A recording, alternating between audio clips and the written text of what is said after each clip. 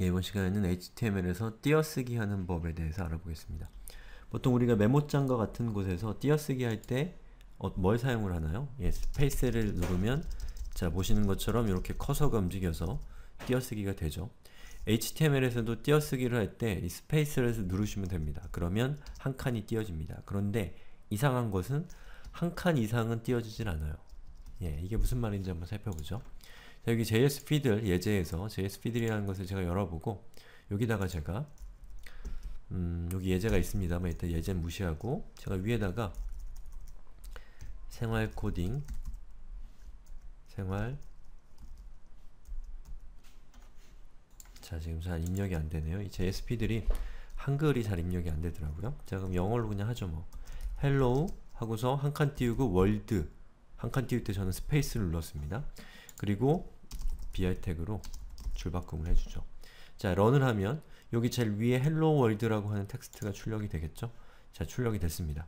근데 제가 어떤 이유로 인해서 Hello와 World를 좀 더 간격을 떨어뜨리고 싶을 수 있잖아요. 그럴 때 우리가 쉽게 생각할 수 있는 건 이렇게 스페이스를 눌러보는 거죠. 그래 한번 run을 시켜볼게요. 어떻게 되나요? 스페이스를 여러 번 눌렀는데도 불구하고 Hello와 World의 간격은 똑같죠. 예, HTML에서는 스페이스를 단 한 번만 인정합니다. 나머지들은 다 무시해요. 그럴 때 사용하는 것이 and, nbsp, 그리고 세미콜론이라고 하는 이 특수한 기호입니다. 여기는 이 기호를 제가 카피해서 요 Hello World와 Hello World 사이에 있는 여기에다가 이렇게 이렇게 이렇게 추가한 다음에 런을 눌러볼게요. 떨어졌죠? 그리고 다시 여러 번 누르면 역시 이렇게 떨어지게 됩니다. 그래서 HTML에서 만약에 여러분이 강제로 띄어쓰기를 하고 싶을 때는 ampersand nbsp 그리고 세미콜론으로 이루어진 이 특수 문자를 입력해서 이 띄어쓰기를 해야 됩니다.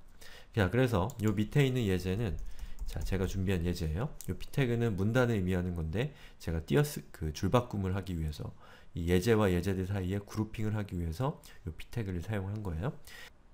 자, 여기 보시면 요 테스트 그리고 ampersand 그리고 amp 세미콜론 nbsp라고 그리고 세미콜론이라고 적혀 있는 부분 있죠. 요거는 이 결과적으로 HTML상에서 이렇게 된 부분을 출력합니다. 자, 요걸 한번 출력해 볼게요. 자, 테스트 뒤에 and nbsp 세미콜론이라고 적혀 있는 이 부분 있죠. 요게 그대로 출력이 되죠. 요건 뭐냐면 여기 있는 요 and에 해당되는 부분을 ampersand amp 그리고 세미콜론을 이렇게 적어주니까 지금 제가 보여드리고 있는 이 부분이 그대로 앰퍼샌드로 표시가 되는 겁니다.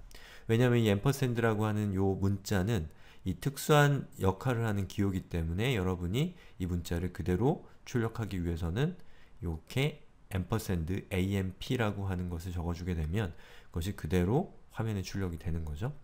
요거는 나중에 escaping이라고 하는 수업이 있습니다.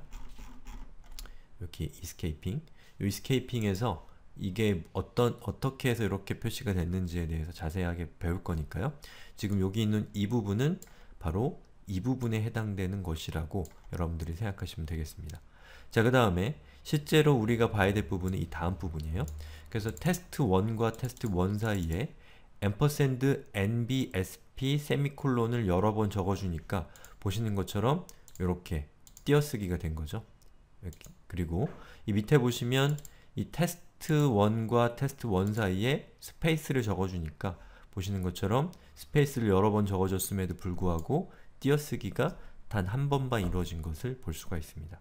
예, 이게 이제 이 예제, 예제가 설명하고자 하는 바예요.